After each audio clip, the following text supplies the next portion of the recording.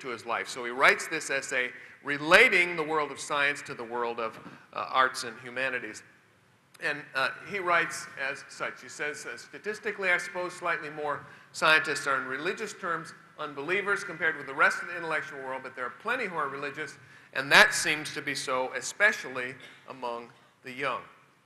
And uh, Richard Feynman, uh, an atheist, to his dying day, refused to go to his father's funeral because a, a, rabbi presided, and that was offensive to him. But uh, nine years before he got the Nobel Prize, he made this statement Many scientists do believe in both science and God.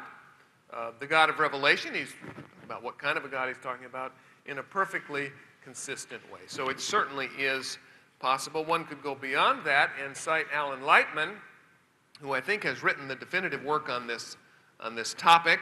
Um, origins, lives, and worlds of modern cosmologists, and I'll just jump to the. He took the Dan Rather approach to, uh, to this, uh, this question. He bought a tape recorder, traveled all around the world, talked to famous physicists, and, and asked them what they thought about ultimate questions. What is life?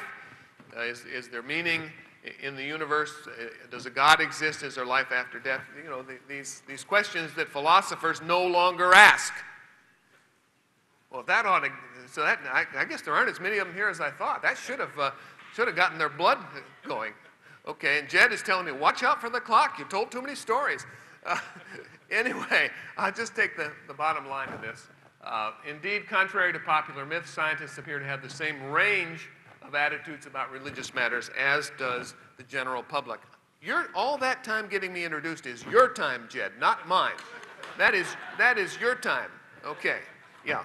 All right, well, we're going to skip many things. That's sad, but we're not going to skip this. Uh, this, is, uh, this is too good to skip. Eugene Wigner uh, Nobel Prize in, in physics in the early years, just died a couple of years ago.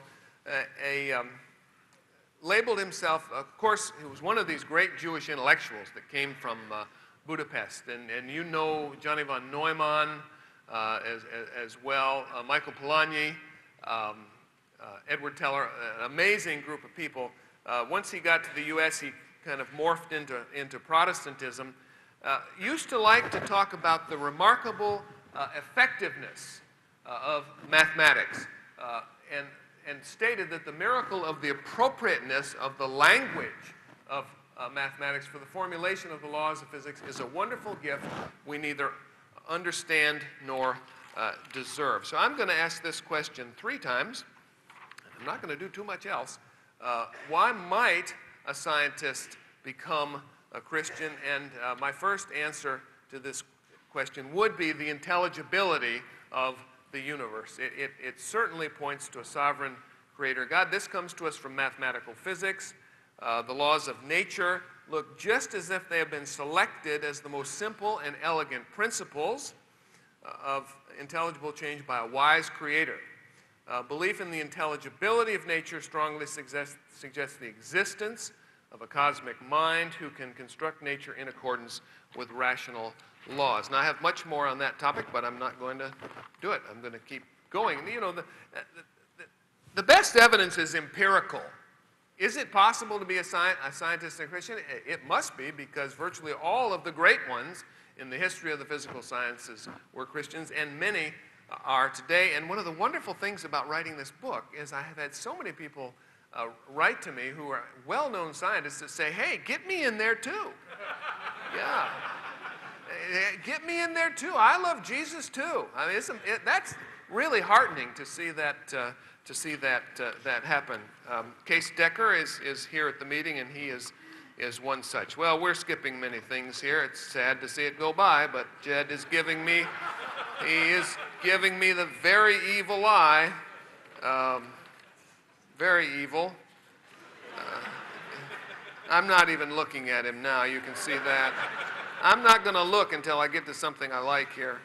Uh, I'm going to ask this question three times. Why might a scientist become a, uh, a Christian? Um, but uh, I have to get to the second one. Y'all are missing such good stuff here. I mean, this is, this is really sad to see this stuff go by the wayside. Jed, you know, this is all your fault. Uh, they could be uh, okay. Here we go. They could be they could be just taking this all in if it weren't for you. Uh, so number two, and this, I think that, okay, this is my one, you know, I'm not a, um, I'm not really a member of the ID